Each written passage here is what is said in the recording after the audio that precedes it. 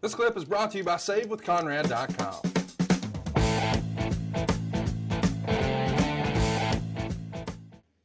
We should mention uh, on the June 6th Raw, Cena would be drafted to Raw. Batista, who was the world champion, is drafted to SmackDown. So the title switch with them. So now WWE has the WWE or Raw has the WWE title and SmackDown has the world title. Um, I'm sure we'll talk about it another time, but what'd you think of the old switcheroo of let's get Cena off SmackDown and on to Raw? Was that decision prompted by the news that SmackDown was moving to a new night?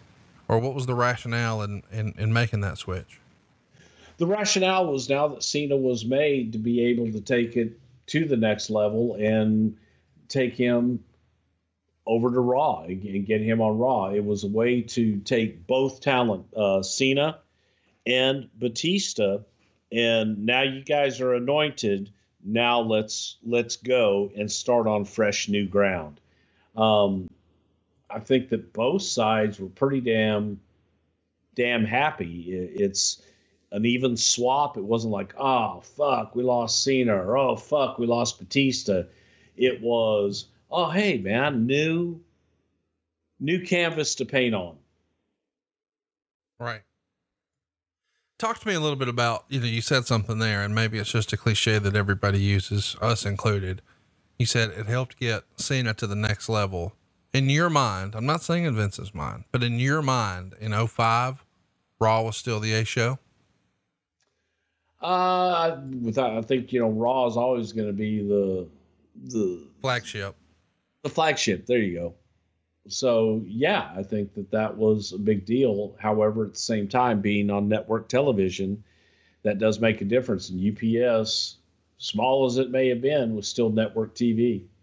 I love, I, I, know you meant UPN, but it tickles me that it was UPS the way you said it. Uh, on a scale of one to 10, where do you rate uh, Judgment Day 05? Uh, about a six. Yeah, I might go a, a, a, little higher than that just because I enjoyed MNM. I thought the, uh, the Kurt Angle Booker T match was really well done. I really enjoyed A and uh, Eddie and Rey, And then the main event. I mean, I'm, I might go like eight on this. I really thought this was a good pay per view, a bit of a sleeper show, if you will.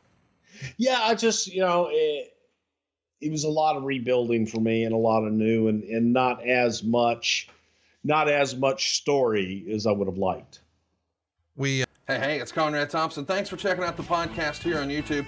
Be sure to hit the subscribe button and the notifications bell so you get a notice anytime we upload some new content. And go save yourself some money right now. If you're in a 30 year loan or you have credit card debt, it's not a matter of if I can save you money, it's a matter of how much. Find out right now for free at SaveWithConrad.com.